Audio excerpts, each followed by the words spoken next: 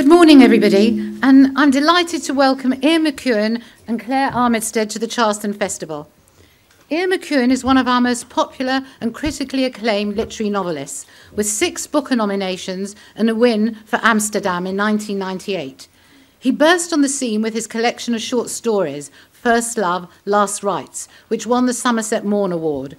Since then, he's become our great liberal intellectual novelist, frequently taking a public stand in defence of civil society, both here and abroad.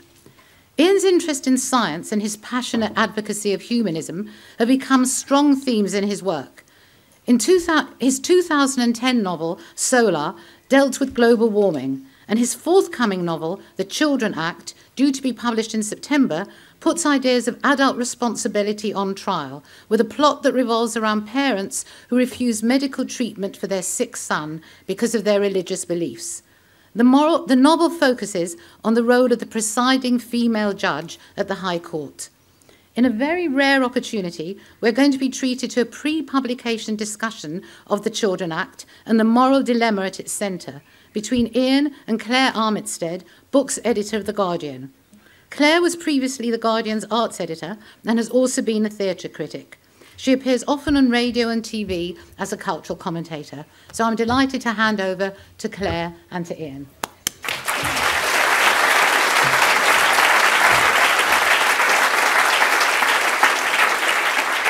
Thank you, Diana, and thank you all for being here.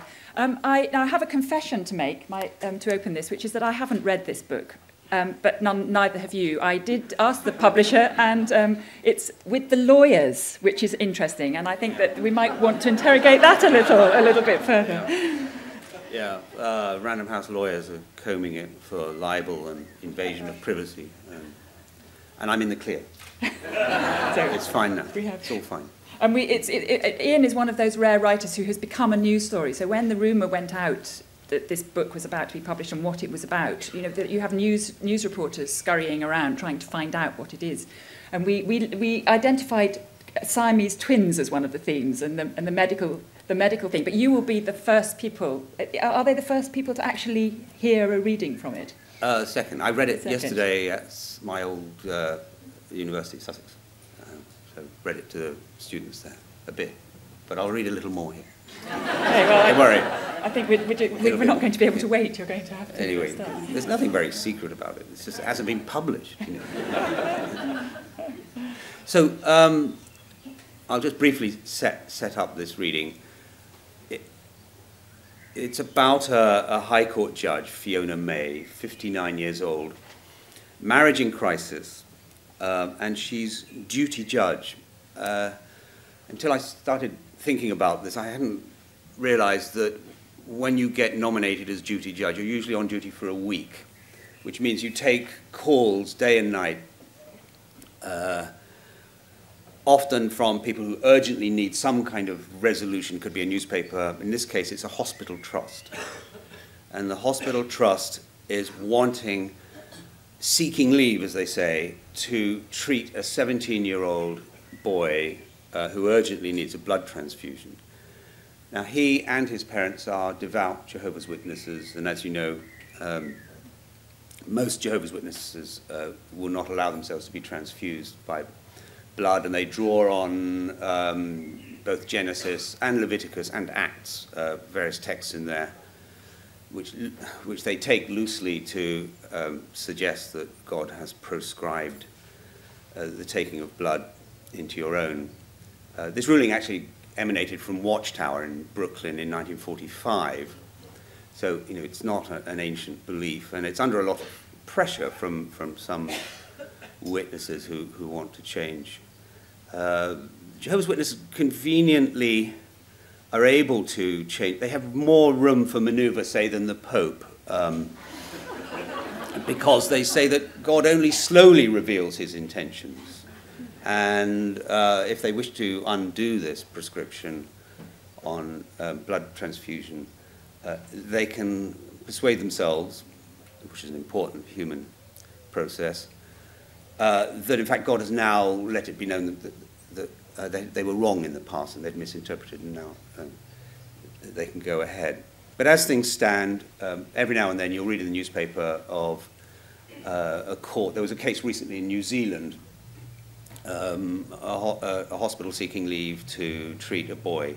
Now, in, in English, uh, in, in English and Welsh jurisdiction, treating an adult against his or her will is trespass against the person.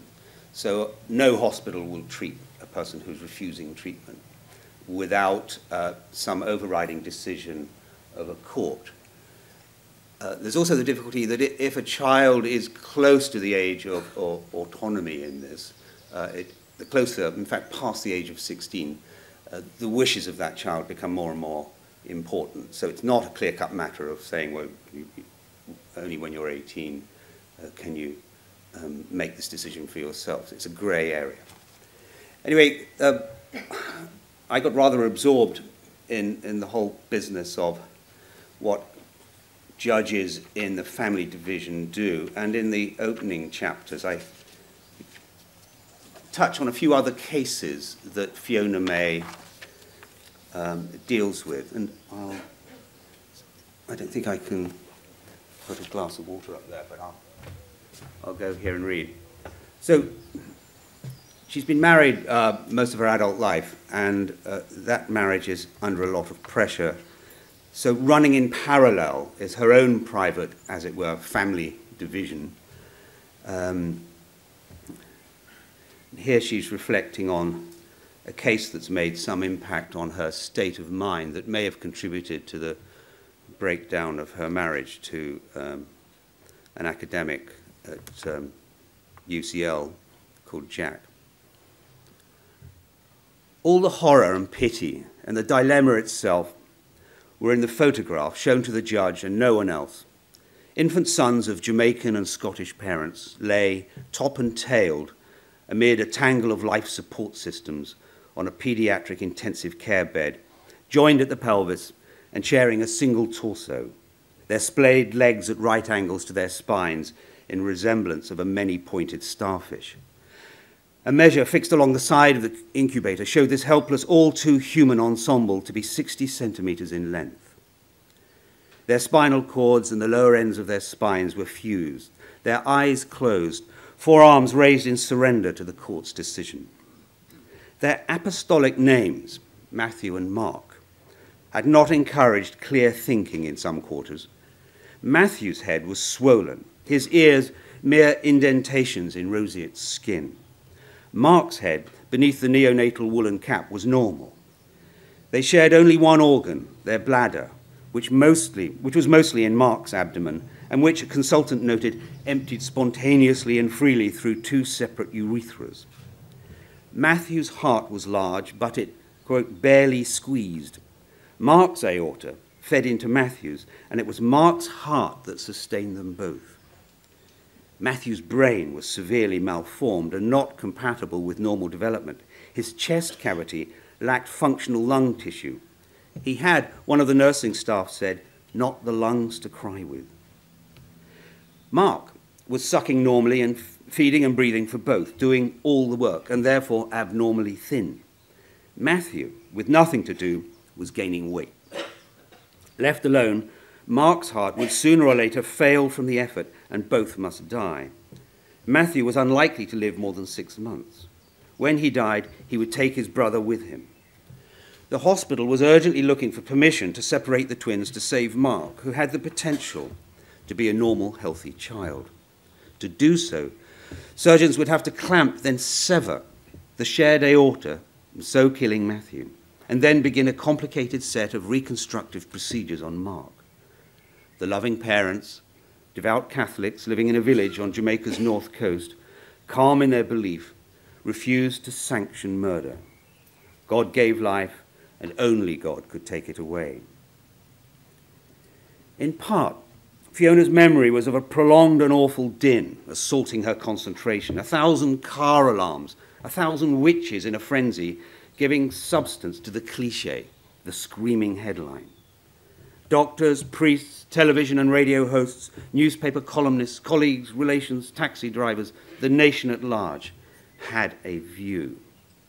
The narrative ingredients were compelling tragic babies, kind hearted, solemn, and eloquent parents in love with each other as well as their children, life, love, death, and a race against time, masked surgeons pitched against supernatural belief.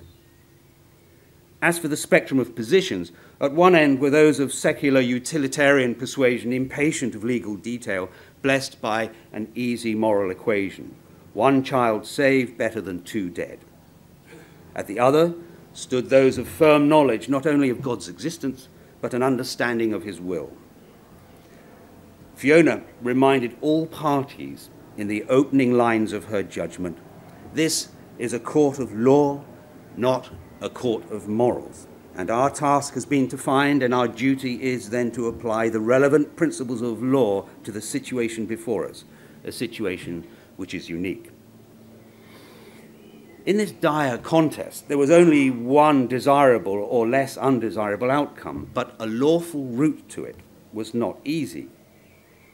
Under pressure of time, with a noisy world waiting, she found in just under a week and 13,000 words a plausible way. Or at least, the Court of Appeal, working to an even harsher deadline on the day after she delivered her judgment, seemed to suggest she had. However, there could be no presumption that one life was worth more than another. Separating the twins would be to kill Matthew. Not separating them would, by omission, kill both. The legal and moral space was tight, and the matter had to be set as a choice of the lesser evil. Still, the judge was obliged to consider what was in Matthew's best interests. Clearly, not death. But nor was life an option. He had a rudimentary brain, no lungs, a useless heart, was probably in pain, and condemned to die, and soon. Fiona argued in a novel formulation which the Court of Appeal accepted that Matthew, unlike his brother, had no interests. But if the lesser evil was preferable, it might still be unlawful. How was murder, cutting open Matthew's body to sever an aorta, to be justified?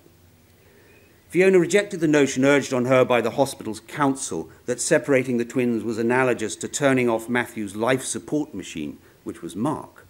The surgery was too invasive, too much of a trespass on Matthew's bodily integrity to be considered a withdrawal of treatment. Instead, she found her argument in the ancient doctrine of necessity, an idea established in common law that in certain limited circumstances, which no parliament would ever care to define, it was permissible to break the criminal law to prevent a greater evil. She referred to a case in which men hijacked a plane to London, terrorized the passengers, and were found innocent of any crime because they were acting to avoid persecution in their own country. Regarding the all important matter of intent, the purpose of the surgery was not to kill Matthew, but to save Mark. Matthew, in all his helplessness, was killing Mark, and the doctors must be allowed to come to Mark's defense to remove a threat of fatal harm. Matthew would perish after the separation, not because he was purposefully murdered, but because on his own he was incapable of flourishing. The Court of Appeal agreed, the parents' appeal was dismissed, and two days later, at seven in the morning, the twins entered the operating theatre.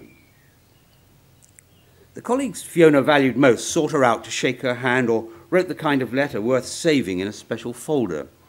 Her judgment was elegant and correct, was the insider's view.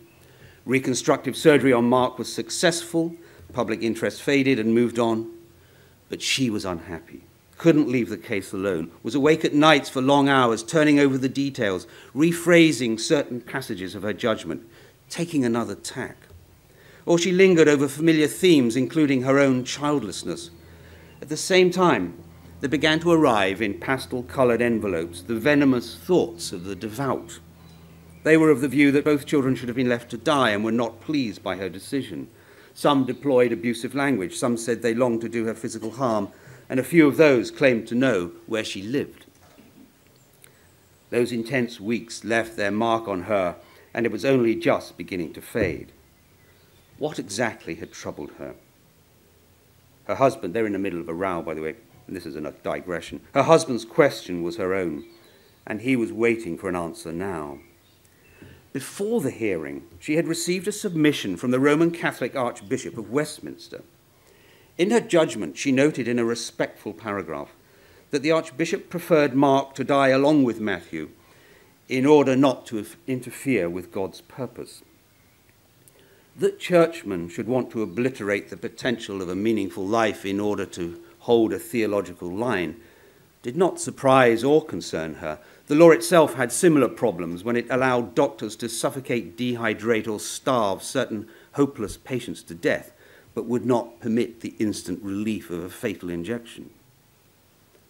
At nights, her thoughts returned to that photograph of the twins and the dozen others she had studied, and to the detailed technical information she had heard from medical specialists on all that was wrong with the babies, on the cutting and breaking, splicing and folding of infant flesh they must perform to give Mark a normal life, reconstructing internal organs, rotating his legs, his genitals and bowels through 90 degrees. In the bedroom darkness, while Jack at her sides quietly snored, she seemed to peer over a cliff edge. She saw in the remembered pictures of Matthew and Mark a blind and purpose nullity a microscopic egg had failed to divide in time due to a failure somewhere along a chain of chemical events, a tiny disturbance in a cascade of protein reactions. A molecular event ballooned like an exploding universe out onto the widest scale of human misery. No cruelty, nothing avenged, no ghost moving in mysterious ways. Merely a gene transcribed in error, an enzyme recipe skewed, a chemical bond severed a process of natural wastage as indifferent as it was pointless, which only brought into relief healthy, perfectly formed life, equally contingent, equally without purpose. Blind luck to arrive in the world with your properly formed parts in the right place, to be born to parents who were loving, not cruel, or to escape by geographical or social accident, war or poverty, and therefore to find it so much easier to be virtuous. For a while, the case had left her numb, caring less, feeling less, going about her business, telling no one. But she became squeamish about bodies, barely able to look at her own or Jack's without feeling repelled. How was she to talk about this? Hardly plausible to have told him at this stage of a legal career, this one case among so many others, its sadness, its visceral details, and loud public interest could affect her so intimately for a while, some part of her had gone cold, along with poor Matthew. She was the one who had dispatched a child from the world, argued him out of existence in 34 elegant pages. Never mind that with his bloated head and unsqueezing heart he was doomed to die. She was no less irrational than the Archbishop, and had come to regard the shrinking within herself as her due.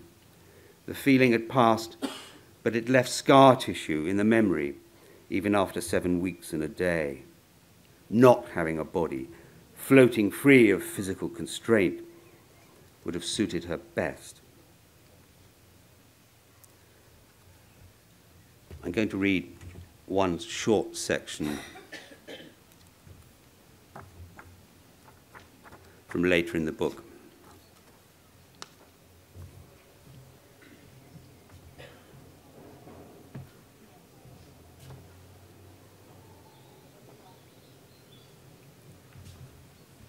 A lot of the judges in the family division spend their time dealing uh, with divorces. Um,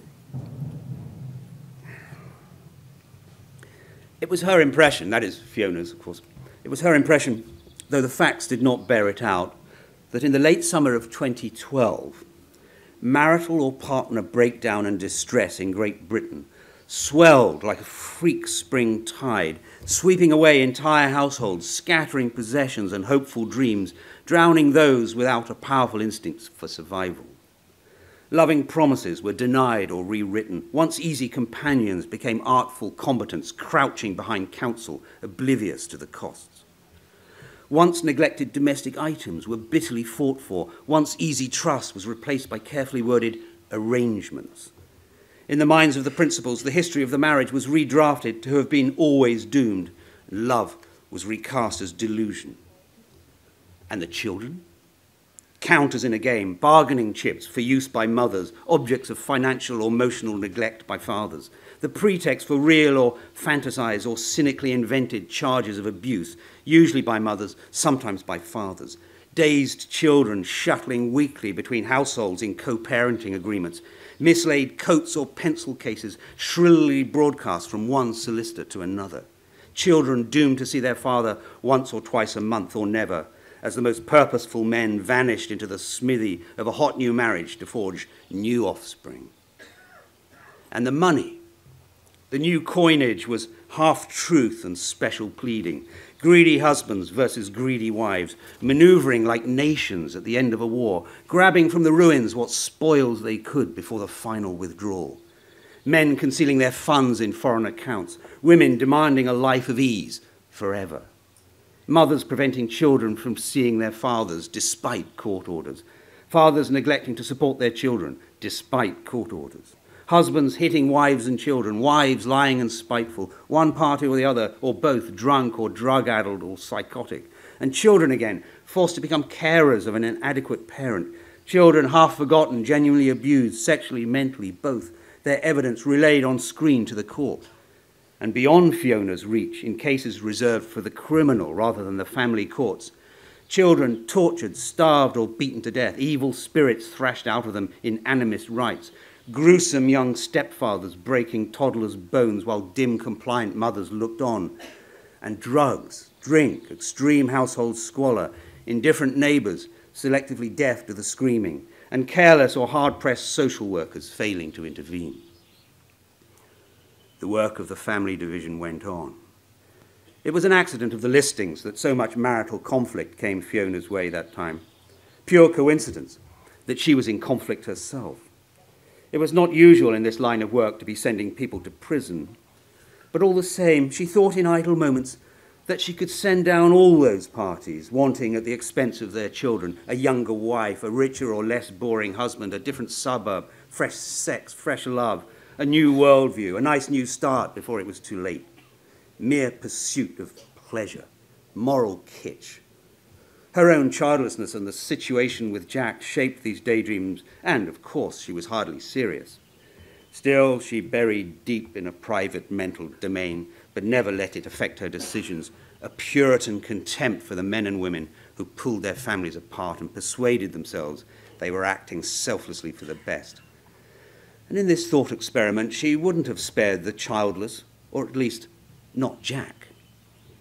A cleansing spell in the scrubs for contaminating their marriage in the cause of novelty? Why not?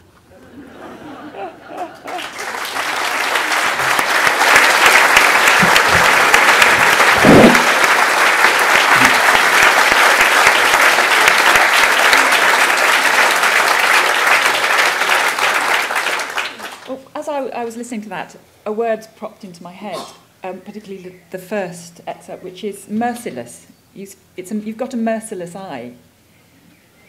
Oh, I thought it In was in- quite warm and sympathetic. um, And I wondered to the extent to which that was because you, you've made the choice to make a judge that the, the person through whose consciousness it's filtered.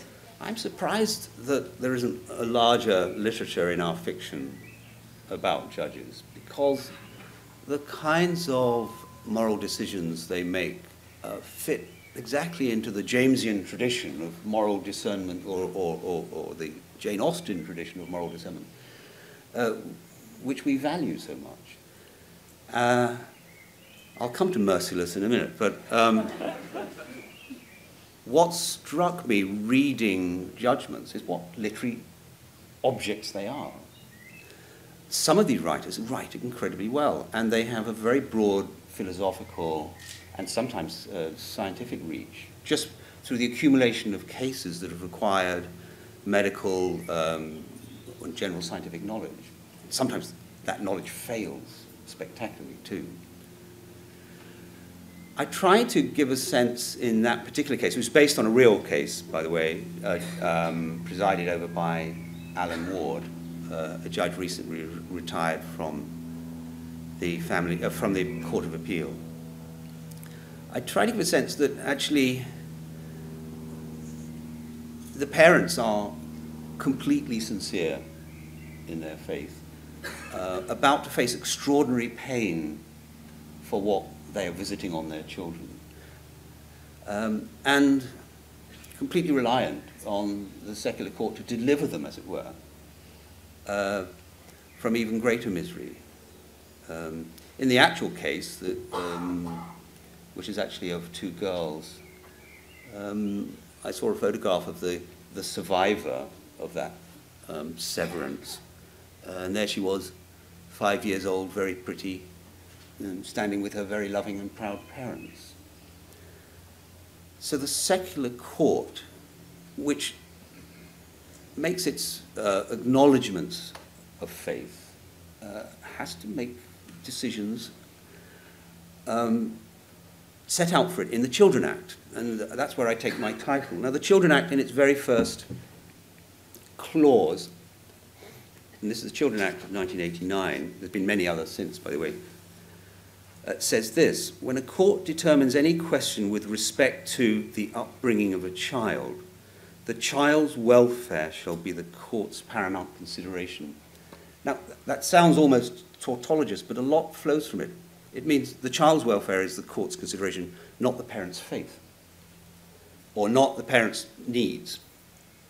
The child's needs are greater than the parent's needs, and that's actually as dictated, at least in theory, how divorce cases are run, how uh, children's homes are run, how boarding schools are run. We now know, of course, spectacular failures on all these fronts, but this rather like Christian theology and actually what Christians do. There's the law and actually what happens. There's always a, um, the shadow, as Eliot would say.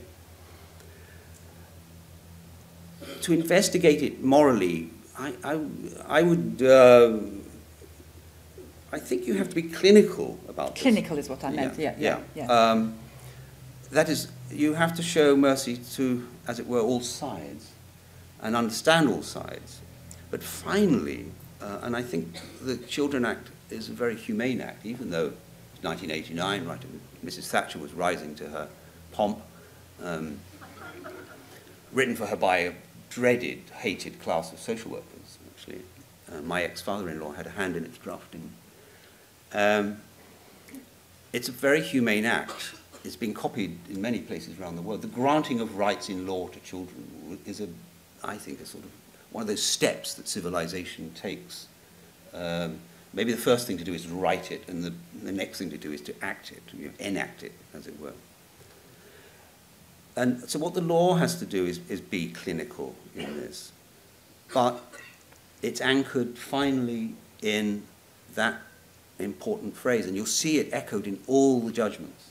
I am bound, and they don't even say by what. They say, I am bound to consider the child's welfare. And um, some of the best judgments then go on to philosophically speculate on what welfare means. Uh, interests, well-being, uh, happiness, and happiness is not only to, uh, to reside in this moment, but stretching forward uh, in terms of allowing the child as much uh, freedom of aspiration and so on. So the thing has been unwrapped by successive judges to become a very sophisticated set of ideas about what we want uh, for children. And that sometimes runs dead counter to what parents want. And judges must, uh, after much chopping and um, discussing, must decide. You, you have an interesting line there, which was um, Fiona argued in a novel formulation. And yes. I just wondered the significance of that, that phrase.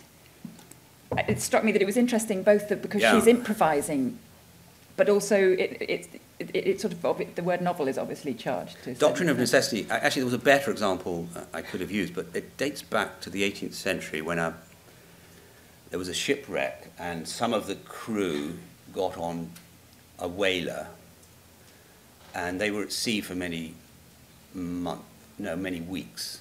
And they made it to the coast of Cornwall.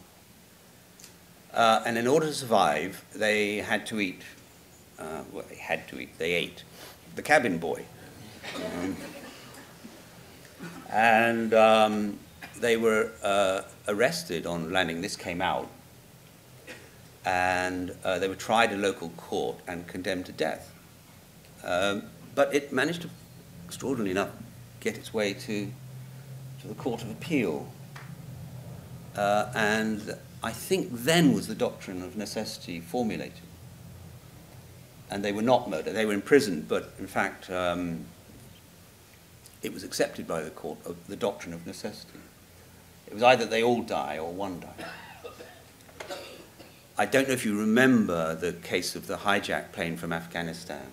I thought it was an amazing judgment because it simply encouraged more hijacks. But um, still, uh, they, 10 Afghan citizens had hijacked a plane to Heathrow, did terrorize a passenger, um, but their lawyers argued from the doctrine of necessity, re reminding the court of the eaten cabin boy.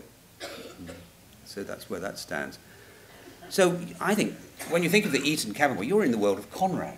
I mean, this is uh, these are extraordinary judgments you should make, or, or uh, the novel so brilliantly. Um, th those events brilliantly caught in a novel. Was it Paul Bailey's novel, Alive? Alive, um, when the rugby team that crashed in the Andes um, ate, but they only ate the dead people, you know. and actually, the, the Pope instantly forgave them for that. But here, they actually had to kill, the, in the 18th century, they had to kill the cabin boy to eat him. So, to what extent is a judge picking up a story and running with it? Is the law actually an accretion of stories, which is selectively picked on by the people making judgments? Well, there are two forces. One is common law and previous judgments, and one is legislation. So those, those two have to be worked together. Um, one judge, um, Lenny Hoffmann, said um, judges are human um, and you could expect different outcomes from different judges. In other words, it, it is an entirely human process. There's no way around it. Um, we, we have a, a friend of our family just sent down for two and a half years for almost nothing. I mean, and we watched this case with horror. Had he been before another judge, he almost certainly would have got a suspended sentence. He got two and a half years. Um, so this is, yeah, it is a matter of, a judgment is a kind of story, um, self-justifying, intact, um, almost like a, almost like a kind of delusion, a psychotic delusion. It's perfectly intact. Uh, you can appeal. Um, appeals are not often successful, actually. Judges of Court of Appeal is reluctant to undo judgments of High Court judges uh, unless there's really compelling reasons. And it has to be on a legal matter, not a moral matter. What if you're talking about the, the provisions of the Children Act, which is which is sort of quite clear if the child has no voice, but what if the child colludes in, in their own those are taken death. into account. Uh, so they used to be called court welfare officers. Now they're called CAFCASS, and I can't remember what it all stands for. Um, the older the child, the more seriously the court has to take into account its its wishes, and that's where it gets very sticky. Somewhere between 16 and 18, as to whether you say, well, this child is almost an adult, and in, you know, uh, this Jehovah's Witness boy is highly intelligent uh, and can give cogent reasons why his faith says he mustn't have a blood transfusion. Uh, it, it's a difficult matter then, because it, it, it sails very, very close to um, criminal assault. Um, again, the judge, an individual judge has to make a decision. Very rarely does a court say, well, let the kid die. Um, uh, there have been a few cases in the southern United States where the judge happened to share uh, the religious persuasions. And most hospital trusts know that if they go to the court, they're, they're, they're going to be successful. Mm-hmm. Um, so you, you, you're dealing with real cases. You Yeah. must have put a lot of time in researching these, and there's a sort of delicacy in the way that you can use information, presumably. Yes, I mean, that's why lawyers had to be involved. Um, the cases are, uh, as I said, they, they, are, they are a literary form, the, the, best, the best judges. And it's interesting the way judges read each other. Uh, I, I went to supper with a few judges, uh, and they, they all knew each other's judgments, stretching back years. Um, and one's uh, teasing uh, another said, Do you remember that judgment of yours in the such and such case where there was a dangling modifier in the very first sentence, and all the other judges went, ah. uh, that, um, so they, they're a bit like writers. I mean, contemporary writers. They, they're, they're on each other's case, um, as it were. Did, did you have, I mean, there's issues of privacy, aren't there, for the, the particular cases? Yeah, that, that's why one has to, first of all, transform the characters, their motivations, their circumstances, absolutely everything about the case. Um, and of course, what, uh, I've invented a couple of cases too, which are just, um, yeah, merging of all kinds of different things from different quarters that couldn't be identified. Uh, what's come, you know, digging around in this world, uh, you're always coming back to how human this process is, how disastrously wrong it can be. Uh, and then somehow how sometimes how brilliantly clear and rational and humane it can be. These things run side by side. It's a bit like hospital treatment. Sometimes, you know, people come out of hospital and say, it's just wonderful, our NHS, and other people coming out with, you know, with the wrong leg off or, you know, uh, with a different view. Uh, I tried to include um, one of the most disastrous miscarriages of justice in recent times, which, um, but again, I changed all the circumstances. But to talk of the real case, it's the case of Sally Clark, um, a solicitor whose first child uh, died of um, cot death and then had a second child and it died of a cot death. And the Crown Prosecution Service brought um, a murder charge against her because it was felt to be so unlikely to have two cot deaths. And a medical expert who was not very up to date on his maths uh, was allowed to give evidence that since a cot death likelihood in any family was eight and a half thousand to one, the chances of two cot deaths was, was that number multiplied by itself. Now that is a plain abuse of statistics. Um, for a start, the chances of this particular individuals in this room at this moment are so colossal to one, you can say, well, it's impossible. But in fact, it's the case. You can't simply take one event and put a probability around it. You have to take at least two. So what are the chances of a mother in a middle-class, stable, um, financially well-resourced home murdering both her children. They are far greater than 8,500 times 8,500. So you need to put at least those two together. It's called the prosecutor's fallacy. And uh, when that was said in court, the Society of Statisticians and probability theorists all piled in Um, but it was too late, and Sally Clark, um, and partly to the pathologist in that case, withheld information that the second child had a bacterial infection. And withheld it actually from the prosecution and uh, withheld it from the whole case.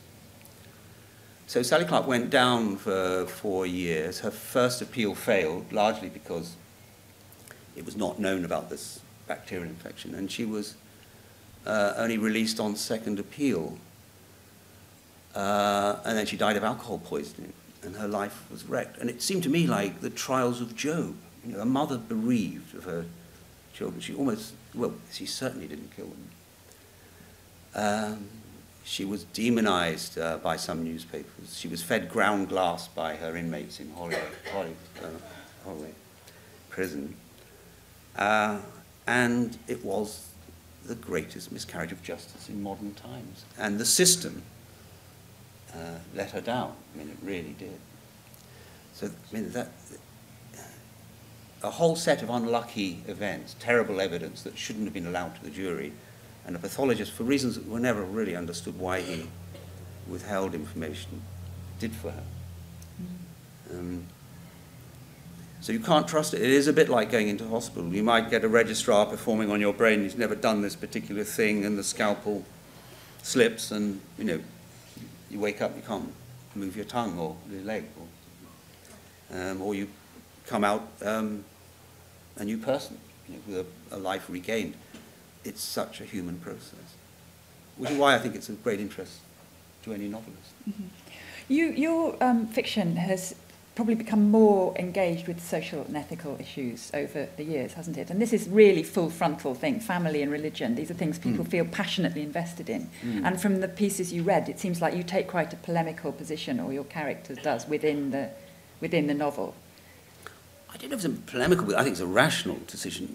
Um, I mean, Pace, the, the, the Archbishop of Westminster, I mean, the difficulty is not deciding what to do. I mean, any, cab driver could tell you that one child alive is better than two dead. The, the interest for the law is to find a legal route to it. I mean, that's what's sort of fascinating to me. So I don't think there's anything planned. It would have been amazing, I think, for a high court to decide both children must die because the parents um, allowed it. Uh, that would never have got through the Court of Appeal because um, it would run against the spirit of the Children Um, what about, you know, letting both children die would, would, would not be possible. Um, so I don't think it's a political position, but generally uh, about moral issues, I, I, I don't like to think of these novels, or any of my novels, as issue novels, really. But I am interested in the kinds of decisions we all take every day that, that are broadly called moral and define us as as individuals, how we work. Increasingly, and this would have surprised us, I think, if we were gathered in this tent in, say, 1970, but increasingly these cases devolve around the demands of religion. Um, and sincerely held faith sometimes runs straight up against either a child's interests or social interests. Um, one of the cases I read recently and um, refer to here two divorcing parents uh, from um, ultra-Orthodox Jewish community. And uh, the mother had rather gone against the grain and got herself uh, an education, got a degree, and, and, starting to teach in, in a secondary school. Uh, I think became head of English there.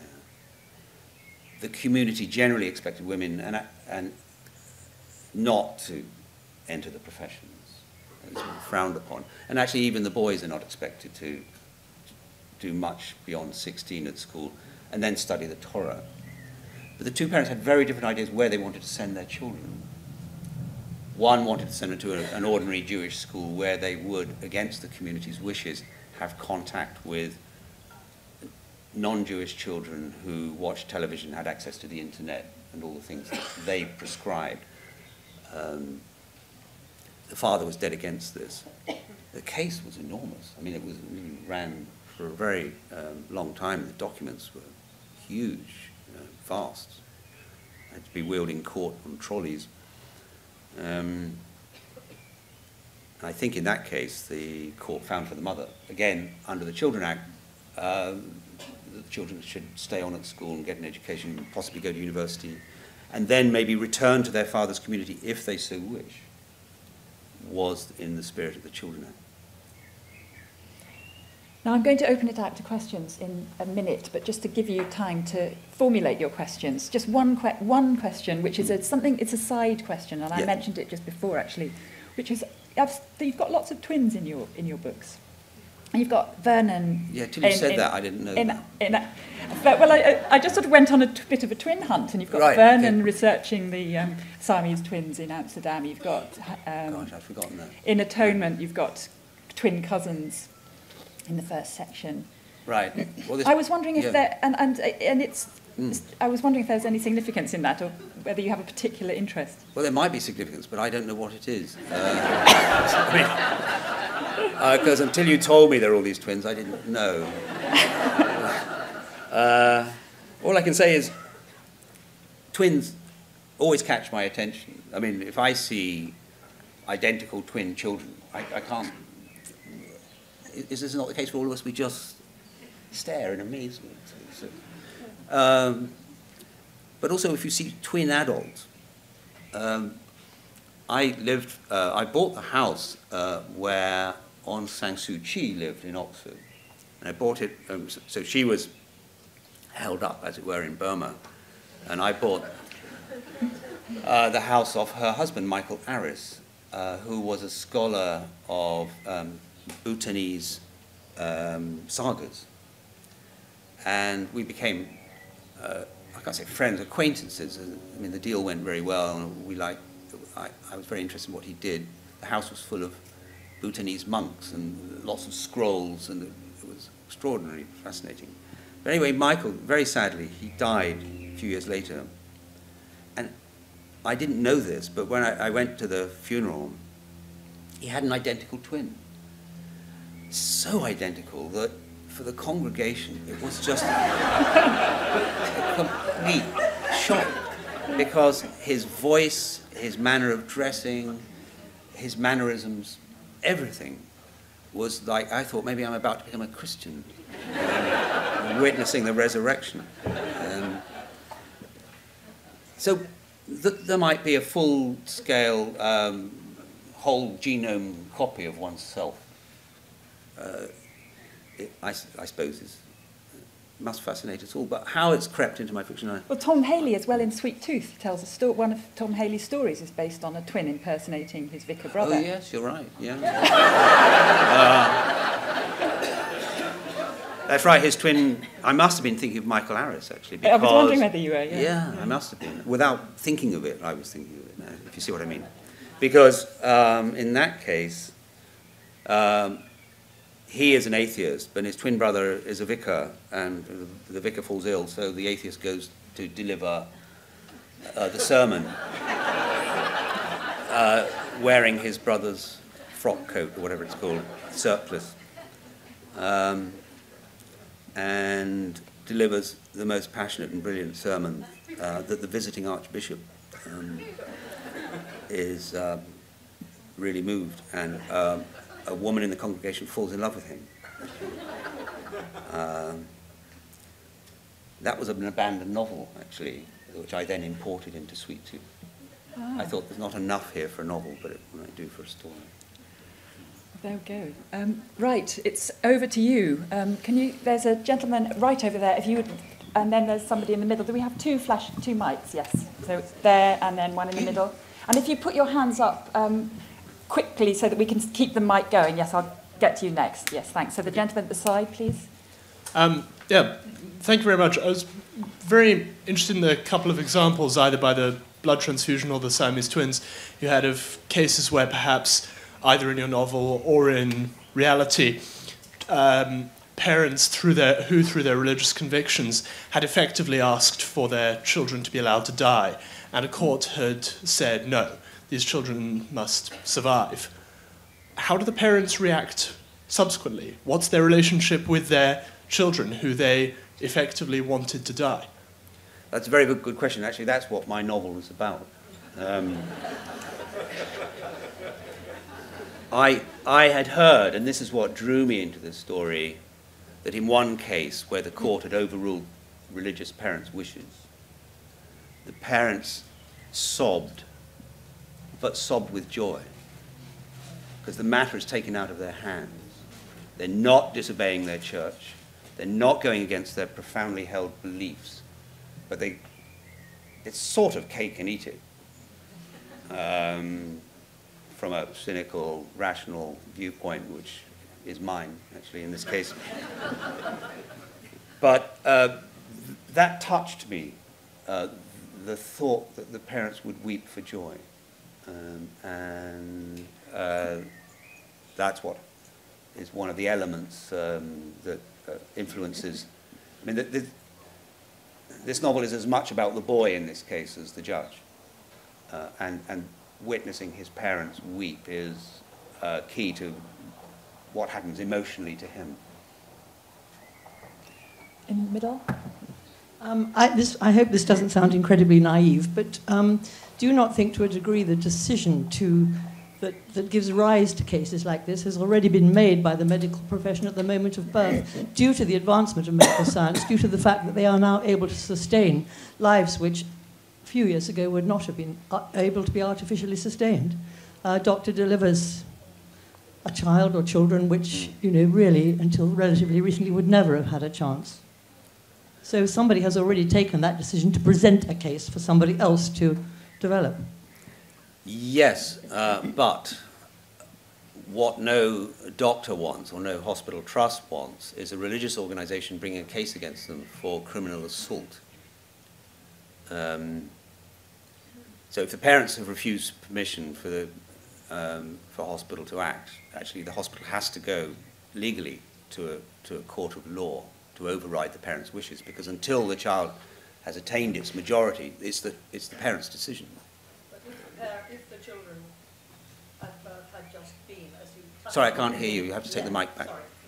Uh, they would have died initially without... Take the mic. These please. babies possibly would have died without the aid that the medical profession gave them at birth. Yes, that's And- and- And, and a few years ago, the parents would possibly have accepted that as God's will or the law Exactly. of nature or whatever.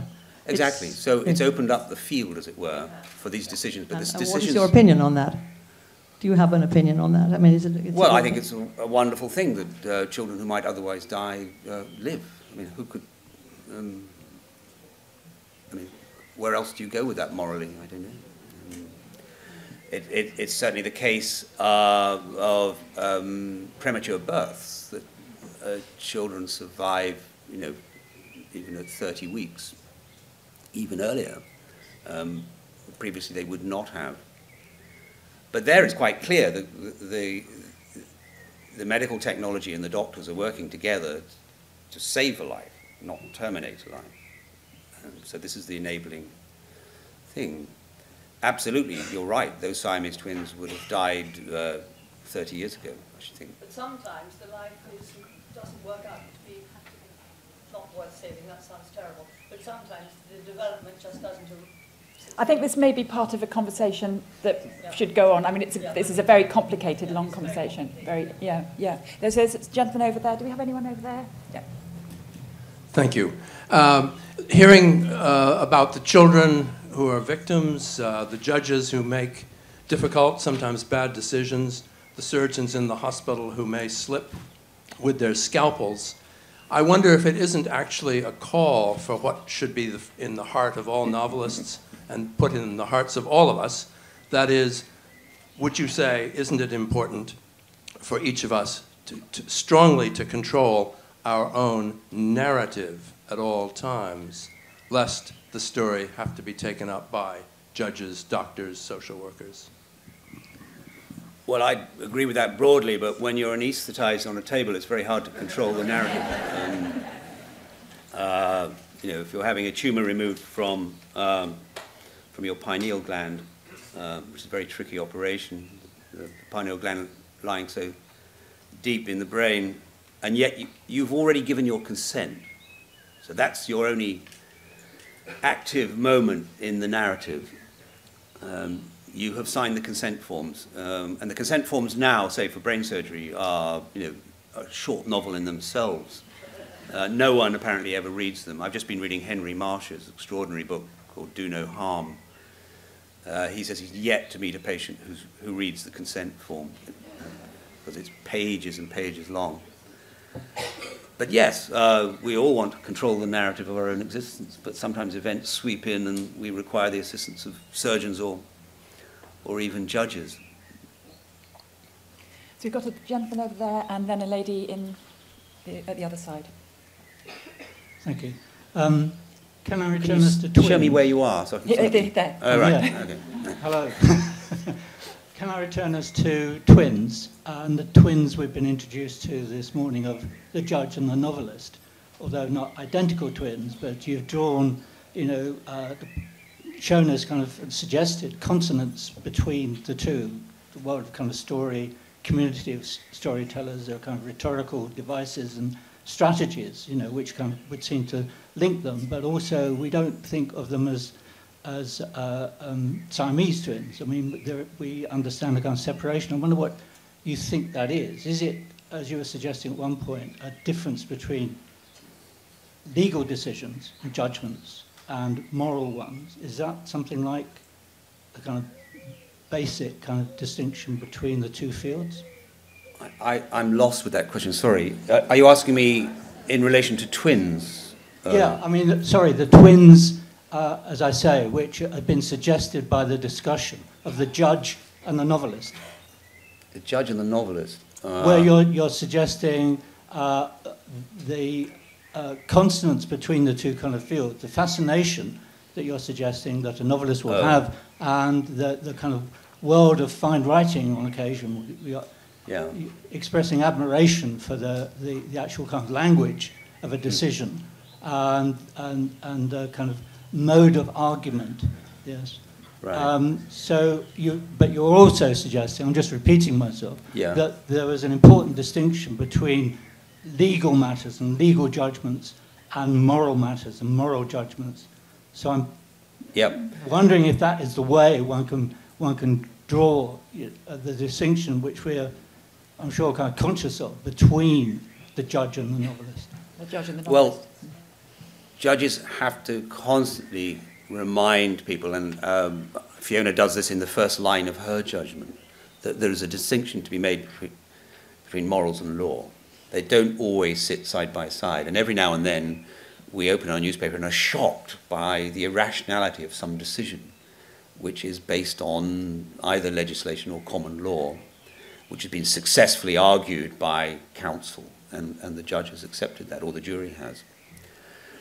Uh, I think in an ideal world, we would like a moral scheme that fitted exactly over a legal scheme. The trouble is that we're a world of different moral beings, and we have slightly different, sometimes radically different moral schemes in our head. So the law is an exemplar, as it were, uh, a test case of our own moral confusion, or our, not confusion, our own moral differences. Sometimes, uh, as I say, we are shocked because a, a legal decision is not necessarily a moral one. Just coming back to the twins, I mean, uh, the obvious thing to say about them is they are a well-tried uh, literary device. I mean, Shakespeare uh, used them to death. Um, uh, the idea that, um, yes, one person could so resemble another that they could pass off uh, is one of those little uh, muffins that you know, can propel a plot forward, be it a, a, a masterwork like Winter's Tale or um, you know a, a, a- a pulp crime novel. Um, so uh, it has a kind of uh, rhetorical uh, plot advancing uh, uses, but I still think that maybe it's to do with, you know, maybe we're all Neoplatonists at heart. We do feel there is this other version of ourselves. Maybe we all crave a twin. Um, certainly I did. I had a, a childhood, uh, although I had a brother and sister, they were much older than me. They weren't around when I was growing up. I, really, I think I did like the idea of having a twin. Um, not just a brother or a sister, but a twin. And we've got somebody over there, and then a, a, a gentleman there. We got somebody over there? Yes, right at the, right at the end. Hello, yes, I really wanted to more make a point. I used to be a director of Guys and Thomases in the late 80s and early 90s, and we did have to deal with a number of issues with Jehovah's Witnesses particularly. Um, and I have to say, sometimes the Jehovah's Witnesses actually decided that their child should be treated and just had to put that moral judgment aside. Where we did have to go to a judge to get an opinion, um, every time the judge ruled in favour of the child's life and the right for the child to have a life. But also, it's very interesting exactly what you said that actually the parents were extraordinarily relieved after the operation because, in a way, their judgment had been taken out of their hands, but Yeah. they were immensely grateful. And it only occurred a number, about three times in five years. Yeah. But every time, without exception, they were frightfully relieved at the end Yes, of the day. I, I, then I can ask you a question. question. uh, uh, I, I'll ask you a question since you have direct experience of this. Um, my impression in research was, leaving aside the parents' relief, it was the distress caused to the nursing staff of not being able to transfuse a child. Yes, Was, absolutely. was really Yes. There is an extraordinary strong desire amongst doctors and nurses Mm. to maintain life, to, um, yes, to, that that a child or an, uh, adult should survive. They should do everything else. I mean, that's part of the Hippocratic Oath, really, that mm. they want children and adults to survive. Hmm. Um, there were, uh, certainly I was part of a, of a level where I used to sit on with the consultants at, and at the uh, consultants had their own dining room and I was allowed yeah. to be in there. Um, and there were a lot of ethical discussions at the time around in lunches very frequently about particular treatments because obviously there was a lot of research going on, a lot of cutting edge treatments. It was a tertiary referral, which meant that very difficult cases that couldn't be treated elsewhere were coming to the hospital. But there was a great deal of discussion about whether where the edge was, where did you actually um, encourage the child or adult to survive or help them to survive, mm. and actually where did you actually withdraw treatment because actually it was quite a difficult decision sometimes. Yeah, I mean the, the case that interests me is really in childhood leukemia, which yes, um, absolutely, yes, bone marrow treatment. The treatment for which has not changed in a very long time yes. requires four drugs, two of which um, severely compromise um, compromise the body's ability to make um, platelets um, and blood cells. So there's a real danger of the blood count dropping. Uh, and, and this is a cancer for which there's a reasonable chance of, of success. Um, I mean, there are other rarer forms of leukemia that uh, are fatal, but there are common forms of leukemia. Uh, you need to transfuse the blood yeah, so you must be very familiar with this yes, in order exactly to counter the effects about. of so you're already yes. bringing the danger into the light yes. by yes. by the very two drugs difficult. uh, because then you've got a slightly different Mauricio yep. that the mm. parents are usually they've gone through months if not years of treatment mm. um, tiny child desperately ill probably isn't going to survive. They've invested so much in that child emotionally, it's very difficult for them to make rational judgments almost sometimes. Mm. And sometimes you get to the stage where the children, uh, the, the adults, want the child to survive at all costs when actually the doctors really want to mm. try and withdraw treatment and make the child comfortable. Mm. Um, and that, it's a very, very difficult situation. Yeah. Very but, but I agree, sometimes mm. I think treatment mm. has gone on too far, I'm yeah. afraid. But it's, it's very difficult to make those very decisions. Yeah. Okay, we'll go over to the other side, yes. Good, af- good afternoon, Ian. Where are you? Uh, over here. Right.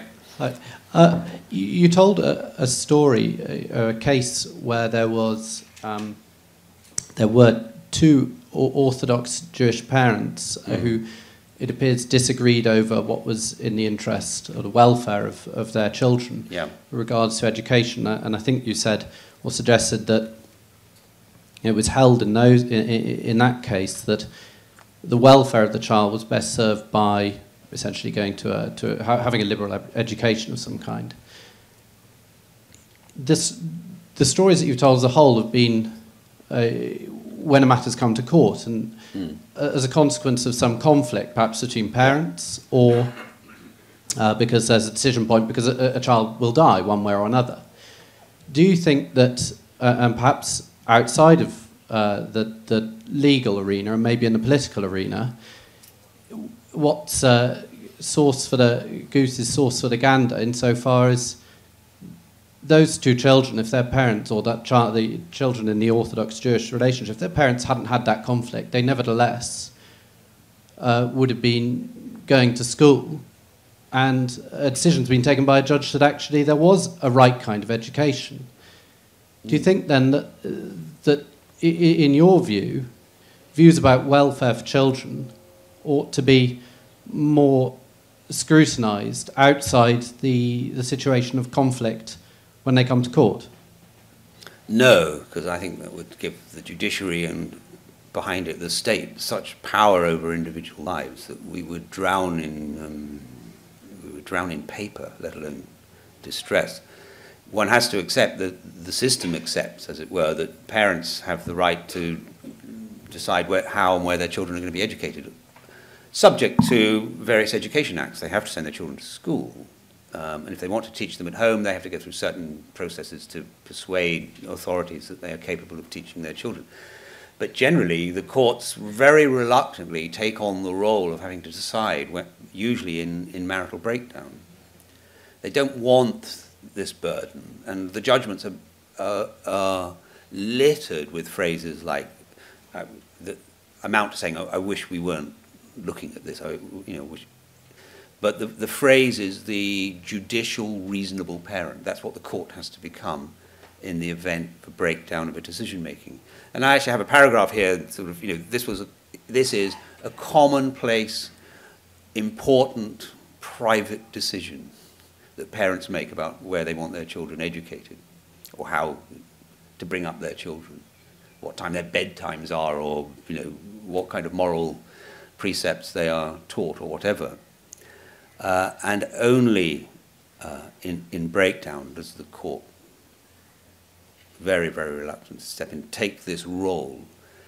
And it has to make the judgments um, in the light of what a contemporary reasonable parent would do now. So contemporary, it has to be. It, the courts accept that the, mainstream moral codes change, uh, so they have to devise this fiction of the judicial reasonable parent. Um, but no, we can't have the courts telling us. Um, otherwise, we could go to every moral realm of, of decision taking that affects other people. There's, the state would crush us. Right, we've got time for two more. I think we've got one over there and then a gentleman there. Um, Ian, I, I'm very impressed by your endorsement of the Children Act.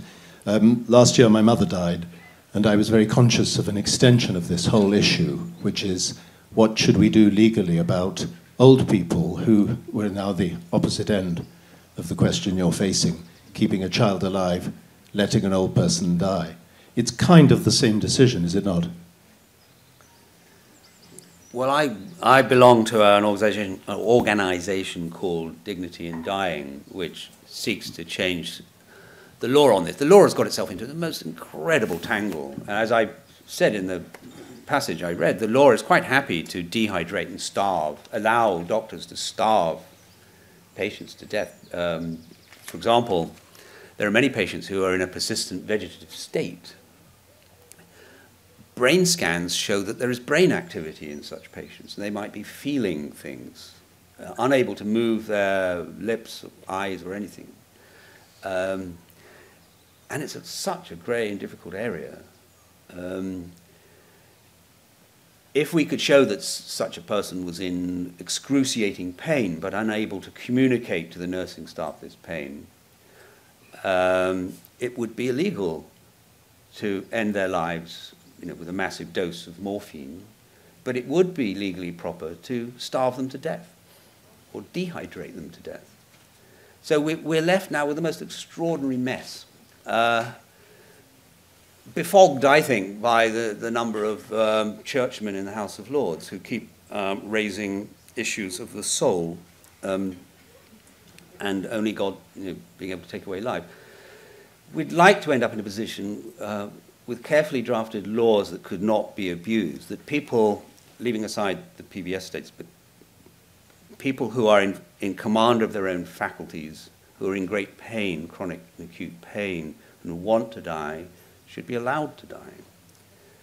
Um, I think slowly this is happening more and more, uh, and I think it's happening in common law more and more, but it's still And Fiona properly recognizes in my novel that the law's position on this is no more rational than the Archbishop of Westminster's, in that it, it, want, it would allow patients to die, give permission to nursing staff to withdraw treatment on the sure understanding that this will condemn that patient to a lingering death. Imagine dying of thirst and starvation while people are walking around you. I mean, it's, it's, it's insane. It's medieval in its uh, moral crudity, from my point of view. Yeah. Considering issues of the soul that you just mentioned, uh, I believe there have been cases in which parents, because of medical intervention, have then subsequently rejected their child. Because, as it were, their child was, we say, contaminated by this and was no longer can be considered within their faith. So these other very poignant issues, mm. tragic issues, where the child has survived but is rejected nevertheless by the parents because they do, as it were, they broke, in a sense, they've broken faith, the medical profession, they've broken faith with their, their beliefs. It's hard to imagine, I mean, um, one of the impressive, uh, at least on paper, things about Christianity is religion um, based around the notion of love. So um, it's hard to imagine, um, say, someone within the Christian faith who, who took such an action of rejecting a child wouldn't be in such fundamental contraventions from the basic moral tenets mostly held in the New Testament. Um, so, I mean, that, that's distressing to hear that, and I hadn't heard that, but that would seem to me, you know, Quite a famous case.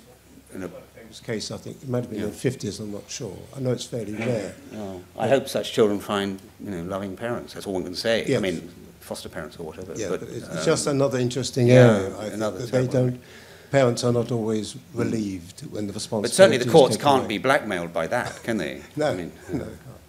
I think, I'm afraid that's all we've got time for. Thank you very much, Ian, for your fantastic presentation. We're very lucky.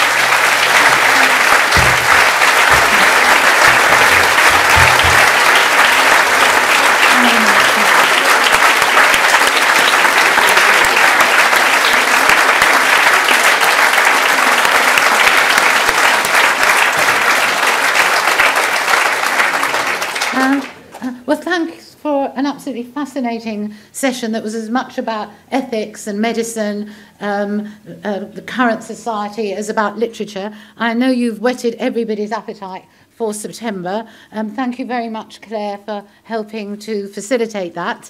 Um, I'm going to ask you all to remain seated just for another minute while we conduct uh, Ian to the bookstall. He will be signing books, although not the Children Act yet. Uh, um, uh, just before um, uh, Claire and Andy the platform, a, a, a few announcements. One, I want yet again to thank the University of Sussex for helping to support this event, for supporting this event. They, of course, as um, Ian indicated at the beginning, do have a unique relationship with Ian because uh, he was their student. Um, and also, just to remind you of a few things. One, if you haven't already noticed, we have delicious hot food, um, paella and uh, pizza in the barn area, as well as our usual other um, uh, uh, facilities for snacks around the site. But do go and experiment with the um, pizza and uh, paella sometime during the day. Raffle tickets in aid of Charleston are going to be sold, I think, um, in the marquee. I'm not sure whether elsewhere. Just to also to draw your attention to the fact that um, the poet laureate gave a reading here last night in which she uh, uh, read for the first time a poem that she wrote. Um, she dedicated to Charleston. She wrote specifically uh, to celebrate the 25th anniversary of the festival. Um, we've had those poems uh, printed in, in beautiful handprint uh, versions that are for sale exclusively during uh, will be uh, for sale exclusively at Charleston, mo- most of which are bound to go during the festival, and there's some outside, um, and also at the Charleston shop is actually published in the Guardian. Claire's Guardian today. Um, so thank you for being patient and for waiting just for a minute, and thank you again, Ian and Claire.